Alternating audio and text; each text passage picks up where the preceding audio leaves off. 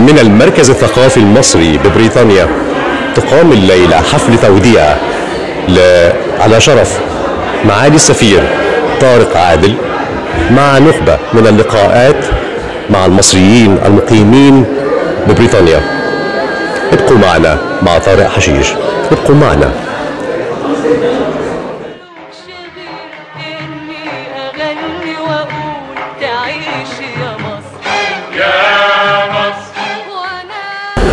المركز الثقافي المصري ببريطانيا ويقام آه، الليلة احتفال آه، على شرف آه، معالي السفير طارق عادل بإنهائه مهمته في بريطانيا.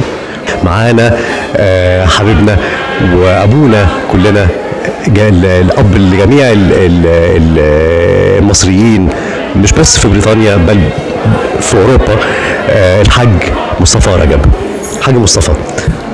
أهلا بيك وبكل المشاهدين. الحقيقة النهارده كان آه، عرس جميل آه، في وداع آه، أو شكر بلاش كلمة وداع سعادة السفير طارق عادل آه، اللي هو كان بيقضي فترة عمله في بريطانيا في وقت من أصعب الأوقات اللي ممكن أي سفير يعدي بيها. عشان وباء الكورونا طبعا. وباء الكورونا كان عائق كبير في آه، إن الكوميونتي أو الجالية المصرية يكون في شغل مع السفارة بالنسبة لها لأن كان حاجات كثيره ممنوعة. إنما في وسط هذا ال- ال- الحرج سعاده السفير قدر إن هو يحسن كتير جدا من العلاقات بين مصر وبريطانيا. طبعا كلنا عارفين العلاقات ما كانتش قد كده بعد الطيارة اللي وقعت ومنع الطيران القرار الخاطئ بتاع بريطانيا. إنما هو اجتهد وعمل شغل بيه جدا في هذا المجال.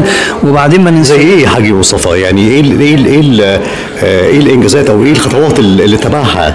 معالي السفير طارق عادل لت- لتحسين العلاقات المصرية البريطانيه آه، طبعا زي ما بقول أول حاجة إعادة الطيران إلى شرم الشيخ. ده إنجاز كبير جدا وتم بعد مجهود كبير تحسين العلاقات بين مصر وبريطانيا لأن طبعا البلاد بتتخذ مواقف أحيانا ليس داعي لها وإنما مواقف سياسية. وبعدين لما جينا فترة الكورونا نفسها والعالقين بعد ما منع الطيران كله بقى من السفر كان في عالقين هنا كتير. السفارة مع القنصلية مع الكوميونتي بذلوا مجهود كبير جدا في إن هم يحلوا مشكلة العالقين في العودة إلى بلادهم. الحمد لله عدد كبير جدا رجع آه، لمصر بسلام. ففي حاجات كتيرة جدا تم إنجازها بجانب تحسين العلاقات آه، بجانب العالقين. آه، إنما بالنسبة للإنجازات الأخرى فهو طبعا خلال فترة إقامته ببريطانيا آه، من آه، 20 سنة قدر إن هو يفهم المجتمع البريطاني قدر إن هو يفهم مشاكله ويتعامل معاه إزاي. ودي كانت ادفانتج كبيرة جدا آه، عن أي سفير تاني لأنه يعتبر من أهل البلد. آه، علاقاته مع الخارجية البريطانية استقبال الملكة له لحظة وصوله كان استقبال جميل جدا. علشان كده النهارده الجالية جاية بتقول له شكرا وبيتمنى له كل التوفيق إن شاء الله. وأنا بتوقع إن أنا في يوم من الأيام أشوف وزير خارجية إن شاء الله.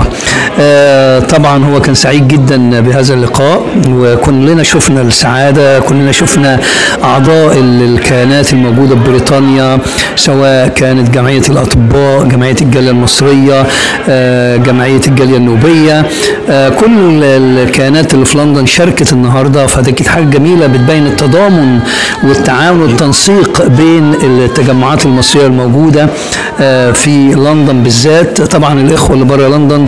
كان صعب عليهم يجوا النهارده علشان بكرة يوم عمل ومسافات طويلة. مش ممكن واحد هيجي من جلاسجو النهارده عشان يرجع بكرة للشغل. فده كان عائق طبعا بس ده هو الميعاد اللي سعاده السفير قدر يعمله لأن فترة عمله انتهت خلاص. بنشكره جدا وبنتمنى له التوفيق وبنشكر كل الناس الحلوة اللي كانت موجودة هنا النهارده وكان منهم مجموعة كبيرة من الناس اللي سافرت معانا لاسكتلندا للترحيب بسيادة الرئيس وعانوا معاناة ما بعدها معاناة سواء ساعات السفر أو الجو أو المعاناة اللي قضوها هناك إنما كان كل ده من قلب جميل وبسعادة وبرضا إن هم بيعملوا حاجة ليستقبلوا آه، رئيسهم الاستقبال المشرف اللي يليق بيه. ويبعتوا رسالة للعالم إن إحنا هنا بنتضامن مع البلد إن إحنا أنا مع البلد إحنا في ظهركم إحنا معاكم. دي أجمل رسالة ممكن نبعتها لأهلنا والمؤسسات الرسمية والمؤسسات الدبلوماسية في مصر.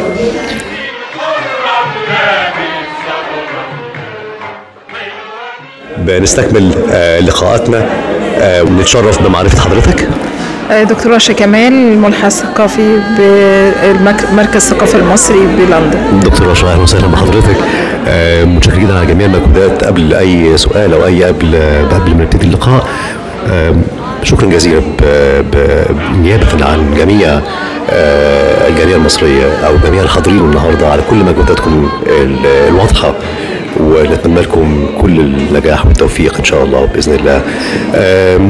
العلاقات المصرية البريطانية مؤخرا آه، إيه رأيك في العلاقات المصرية البريطانية وكيف تطورت خلال الثلاث سنين الأخرى رغم إن كان في كوفيد ورغم إن كان في كورونا ومشاكل كتيرة كانت في الفترة الأخيرة. آه، طبعا يعني آم، أنا حظي يعني سيء وفي نفس الوقت حلو الحمد لله سيء. طبعا لأن أنا لسه آه، بقالي 10 أيام آه، وصلت طبعا لندن و الحمد لله على السلامة. الله يسلمك يا فندم. فطبعا ما كانش ليا نصيب آه، كويس إن أنا طبعا أعمل مع سعادة السفير طارق بيه عادل. آه، لكن طبعا ما سمعت عن دعمه للطلاب في فترة الكورونا. دي كان حاجة قوية جدا ودعمه للمكتب في هذه الفترة الحرجة اللي الطلبة طبعا يعني بعض الجامعات ما قدرتش طبعا إن هي تقدم آه، بلان بي أو استراتيجية بديلة في في ظل الكورونا. لكن هو كان بيدعم الطالب في مشاكلهم مع الجامعات بشكل كبير جدا وكان بيدعم المكتب في آه، طبعا تواصله مع الطلاب. آه، طبعا الجميل في الآخر ثلاث سنوات الانفتاح الغير غير عادي وقام به معالي وزير التعليم العالي والبحث العلمي في آه، شراكات متميزة مع آه، المملكة المتحدة. وده طبعا بوجود آه، يعني إحنا عارفين كويس جدا إن في اتنين آه، أفرع لجامعات أجنبية جامعة جامعات إنجليزية آه، زي جامعة كوفنتري وجامعة هيرتفوردشير which is يعني great إن إحنا قدرنا نعمل ده. آه، في آه، آخر الثلاث سنوات. وطبعا في آه، بالظبط سجلت achievement إن إحنا يبقى آه، في استثمار للتعليم البريطاني في مصر وشراكات مصرية بريطانية. في مجال التعليم والبحث العلمي وإحنا طبعا بصدد مع جامعة برادفورد وجامعات أخرى كثيرة آه، إن إحنا نعمل dual degree وتعاون ما بين الجامعات المصرية والجامعات الإنجليزية. واهلا بيكم طبعا النهارده شرفتونا في المركز الثقافي لينا. آه، مكانكم وإحنا سعداء طبعا إن المركز استضاف حفل تكريم معالي السفير وإن شاء الله بإذن الله المكتب في المرحلة القادمة يقدم لكم بعض الفعاليات الثقافية المحترمة آه، اللي تروج للثقافة المصرية بشكل يليق بمكانة جمهورية مصر العربية. ميرسي جدا شكراً جدا جدا. شكرا جزيلا آه، طبعا السفير طارق عادل آه، تحدى يعني قدر الصراحة يتغلب على تحديات كثيرة جدا واللي تم في العلاقات المصرية البريطانية في الفترة الأخيرة ده إنجاز في ظل الكورونا آه، الأعداد حتى المبعوثين تعتبر UK هي number 1 من أعداد المبتعثين المصريين للدراسة فيها وما قلتش برغم الكورونا. وإحنا بنشهد حوالي 60% من أعداد المبتعثين آه، خارج مصر بيكون من نصيب UK وده إنما بيثمن العلاقات المصرية ال- ال- البريطانية القوية جدا. آه، إن شاء الله في المستقبل آه، ندعم زيادة من هذه العلاقات تخفيضات أكتر من الجامعات لطلابنا الأعزاء. آه، دعم لطلابنا في مشاكلهم آه، تيسير الإجراءات بالنسبة لهم آه، فتح قنوات تواصل معاهم آه، مختلفة ومتعددة. آه، وده برعاية طبعا سعادة السفير ورئيس البعثة ومعالي وزير التعليم العالي والبحث العلمي ودي تعليماته لينا. وتعليمات قطاع الشؤون الثقافية والبعثات إن إحنا نيسر على الطلاب آه، في كل الإجراءات الخاصة بالإبتعاث والإفاد والإجازات الدراسية. فإحنا طموحين إن شاء الله للفتره القادمة نعمل إن شاء الله إنجازات في هذا الملف. الله. بالإضافة إلى فتح أفرع لجامعات آه، بريطانية كتير في مصر. آه، بالإضافة إلى شراكات في على مستوى البرامج وتبادل الأساتذة والنابغين والعلماء. شكرا جزيلا. نتمنى لك كل توفيق وكل نجاح إن شاء الله. وكما نتمنى كل توفيق والنجاح آه، لمعالي سيادة السفير طارق عادل.